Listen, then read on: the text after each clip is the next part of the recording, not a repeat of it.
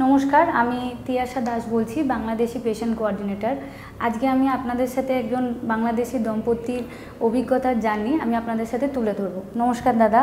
নমস্কার। দিদি। দাদা কত বছর বিয়ে হয়েছে আপনাদের? সাত বছর সাত বছর। ধরেই চেষ্টা করছিলেন বাচ্চা নেওয়ার? হ্যাঁ আচ্ছা। আচ্ছা। চেন্নাইয়ে কতদিন হয়েছেন এসছেন? এক বছরের উপর। এক বছর। আচ্ছা তো এর আগে বাংলাদেশে যখন থাকছিলেন তখন নিশ্চয়ই অনেক জায়গায় চিকিৎসা করেছেন বা বাংলাদেশি ডাক্তারদের কাছ থেকে কোনো সুফল বা কোনো রকম দিদির কি কোনো রকম ভালো রেজাল্ট এসেছিল? না আমি তো অনেক দিন ধরে ট্রিটমেন্ট করছিলাম। আহ, এই ক্ষেত্রে অনেক ওষুধ ইঞ্জেকশন অনেক কিছু দেওয়া হয়েছিল কিন্তু কোনো কিছুতে কাজ হয়নি। এমনকি আমি আইইউআইও করছিলাম। আচ্ছা। আইইউআই করার পরও আমার কোনো কিছু ইয়ে হয় নাই ঐশ্বর্য সম্পর্কে জানলেন কোথা দিয়ে?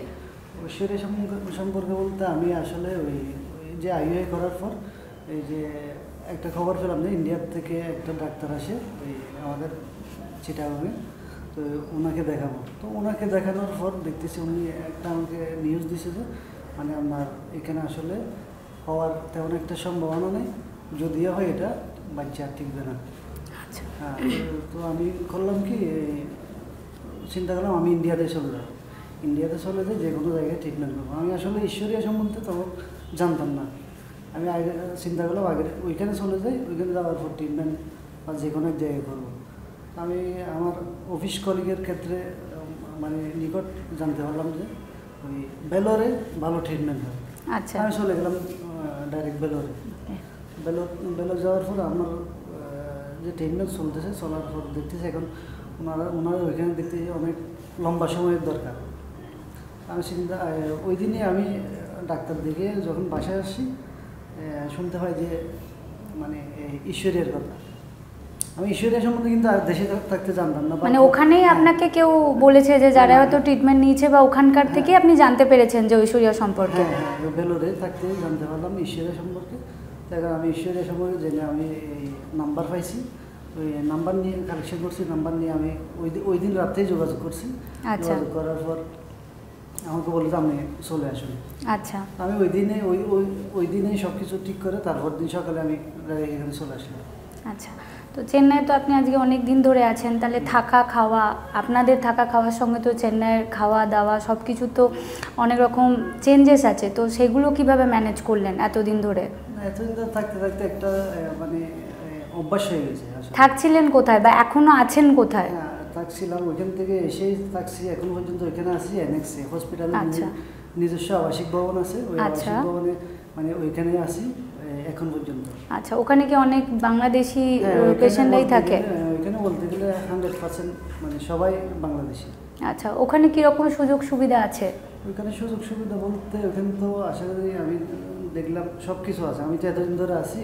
আমি সব কিছু দেখলাম আমার সবগুলো সবগুলোই আমার কাছে ভালো লাগছে এই যে আপনার রুম তো ঠিক আছে এই যে পাশে কিচেন আছে আর পানি আছে বা সবগুলোই ঠিক আছে বলতে গেলে। মানে এক আচ্ছা। কথা একটা একটা করে তো বলা সম্ভব না।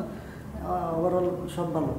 আর টোয়েন্টি ফোর আওয়ার্স ওখানে নার্স বলুন হ্যাঁ, ডক্টর বলুন nurse, বা হ্যাঁ। এমার্জেন্সি সেই সুযোগ সুবিধাটা পেয়েছেন কে? হ্যাঁ হ্যাঁ হ্যাঁ সব সময় পাইছি যে কোনো মুহূর্তে সিস্টার ওইখানে প্রেজেন্ট থাকে যে কোনো মুহূর্তে রাত দিন চব্বিশ ঘণ্টা বললেই মানে হেল্প হেল্প করতো।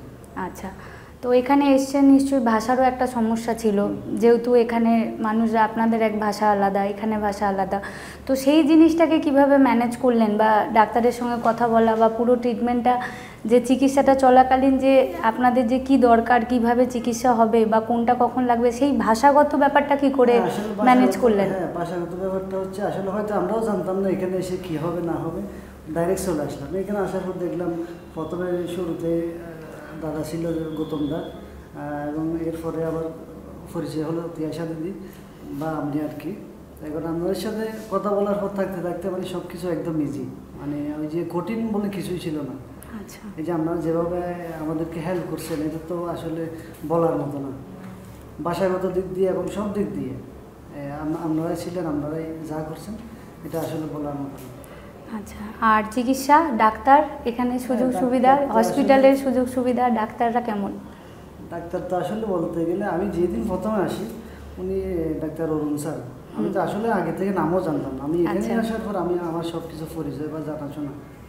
এই স্যারে যখন আমার ফাইল দেখছে ফাইল দেখার পরে মানে একটা হাসি দিয়ে বলছে না নো প্রবলেম মানে আপনি চিকিৎসা করলে হ্যাঁ। এখানে একটা ভালো রেজাল্ট নিয়ে যাবেন। স্যার হাসি দিয়ে যে কথাটা বলছে ওই কথাই আমি আসলে ওই দিনেই আমার খুশি খুশি লাগছে। ওই দিন থেকে আমি আমার মনে একটা ইয়া ছিল যে না কিছু একটা হবে এখানে। আচ্ছা। তো আপনি আজকে সাকসেস তো বাংলাদেশে যারা এরকম সমস্যায় ভুগছে তাদের জন্য আপনি কি বলতে চান বা কি জানাতে চান?